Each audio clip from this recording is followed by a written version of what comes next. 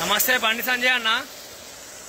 ఏం మాట్లాడుతున్నావు అన్న ఇవాళ కేసీఆర్ క్షుద్ర పూజలు చేస్తున్నాడు నల్లపిల్లి తెల్లపిల్లితోట చదువుకున్నావన్న చదివే ఉంటుంది మధురై మధుర కామరాజు యూనివర్సిటీలో డిగ్రీ పట్టా పొందినావు కదా.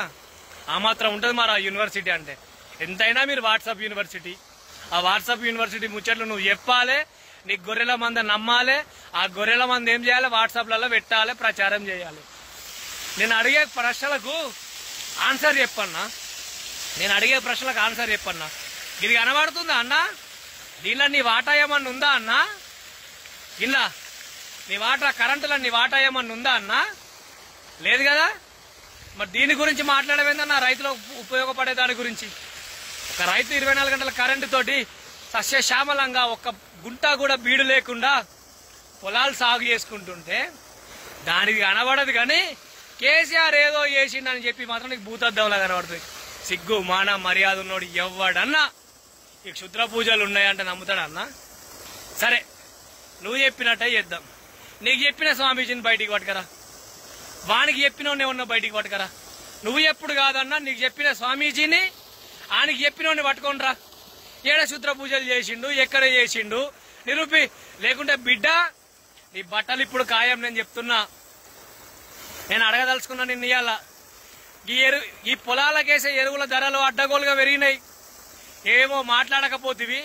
ఏడు వందల యాభై రూపాయలు ఉన్న పొటాషు పదిహేడు వందల యాభై రూపాయలు అయింది పన్నెండు వందలు ఉన్న డిఏపి పద్దెనిమిది వందలు అయింది ట్వంటీ ఎయిట్ ట్వంటీ ఎయిట్ పద్దెనిమిది యాభైకి పోయింది.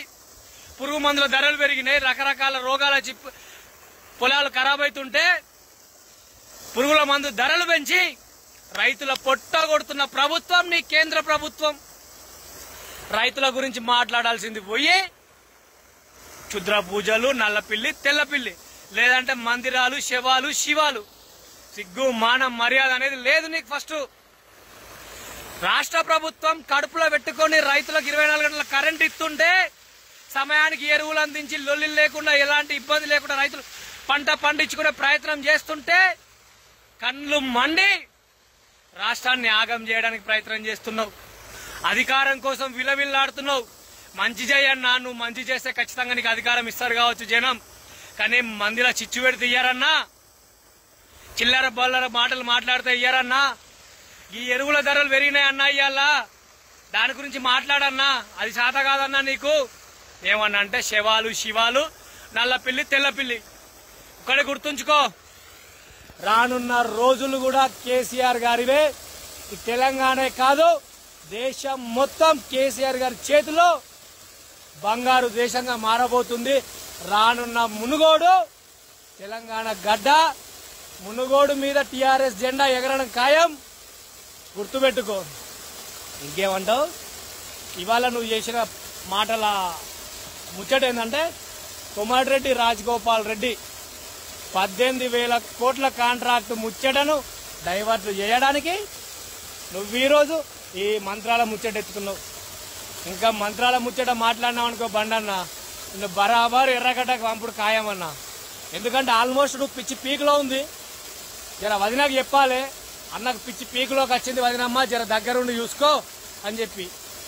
లేకపోతే కష్టం అయిపోతుంటుంది ఒక్క ఎర్రి కుక్క మోపైందంటే ఊరు మొత్తం ఎర్రి కుక్కలు తయారవుతాడా నువ్వు ఒక్కరిని పిచ్చోని పోయి దేశం మొత్తాన్ని పిచ్చోని చేయడానికి ప్రయత్నం చేస్తున్నావు బండన్న. దయచేసి నీ పద్ధతి మార్చుకో. రానున్న ముడుగోడు ఎలక్షన్లో ఖచ్చితంగా బీఆర్ఎస్ జెండా ఎగరబోతుంది. రాసి పెట్టుకో. ఈ బీఆర్ఎస్ జెండా ఎగిరిన రోజు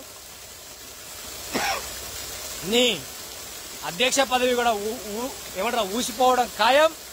గుర్తుపెట్టుకో.